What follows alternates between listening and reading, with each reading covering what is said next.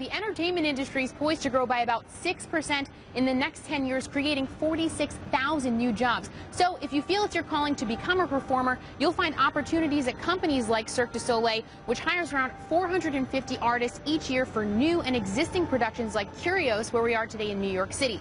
But as you can imagine, the competition is very fierce. So if you want to get noticed by a casting director, you're going to have to be strong and flexible like Roman back here in more ways than one.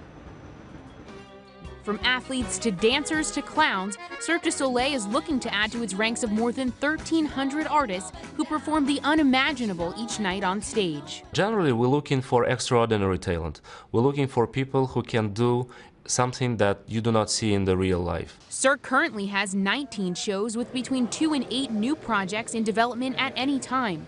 Today's ideal candidate is multi-talented.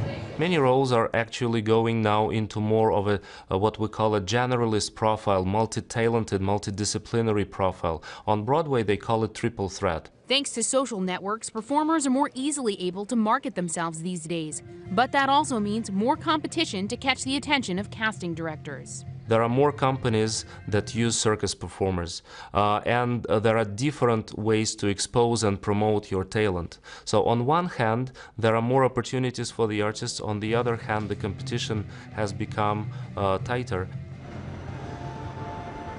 As you can imagine, salaries in the industry vary very widely. One expert told us she's seen them as low as $50 a night for a one-off production with no benefits at all to people making up to six figures with a contract and full benefits at a major company like Cirque du Soleil.